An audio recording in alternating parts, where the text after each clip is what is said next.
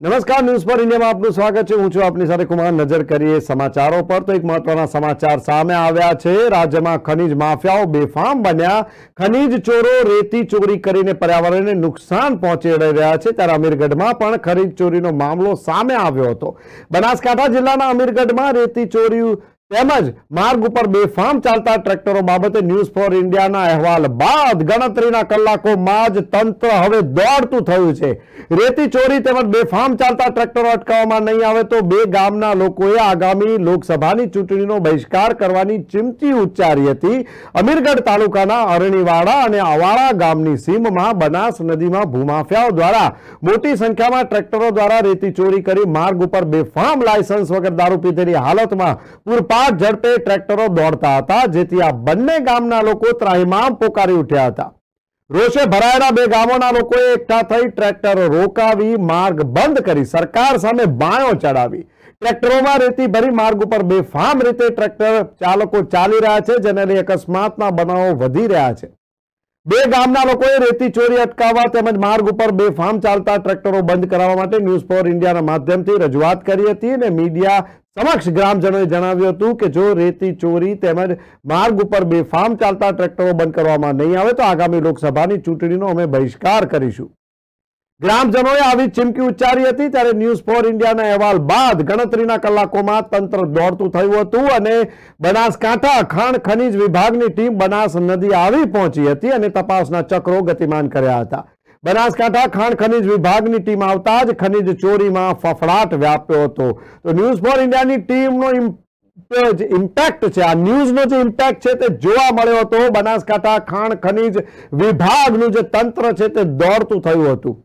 ગામ લોકોએ આક્ષેપ કર્યો હતો કે જે ટ્રેક્ટરો છે, તે રેતી ભરીને બેફામ દોડી રહ્યા છે.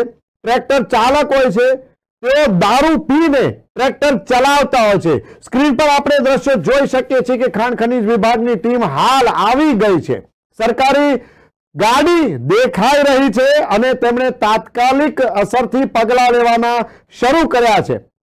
આ બંને ગામના લોકોએ ચૂંટણીનો બહિષ્કાર કરવાની ચીમકી આપી હતી.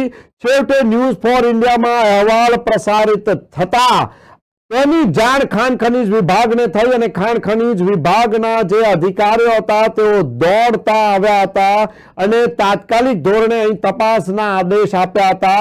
સ્થળ ઉપર અવલોકન કર્યું હતું કે ક્યાં ક્યાંથી રેતી ચોરી થઈ છે.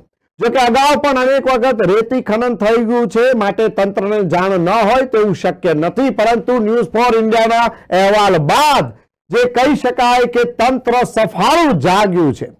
તંત્રને ફાળ પડી છે અને ખાસ કરીને સૌથી મહત્વની વાત એ છે કે બંને ગામના લોકોએ જે છે તે ચૂંટણીનો બહિષ્કાર કરવાની ચીમકી આપી હતી. તેની સાથે ન્યૂઝ પર ઇન્ડિયાનો જે અહેવાલ હતો, આ બંને વસ્તુએ ભેગા થઈને ખાણ ખનીજ વિભાગ જે છે તેની ઉપર ઘણું પ્રેશર ઊભું કર્યું ને છેવટે તંત્ર જાગ્યું હતું અને અહીંયા અવલોકન માટે માણસોને દોડાવ્યા હતા.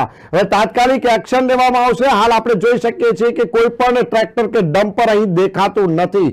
એટલે કે ખાણ ખનીજ વિભાગની ટીમ આવતા જ આ ટ્રેક્ટર અને ડમ્પરો ગાયબ થઈ ગયા હતા.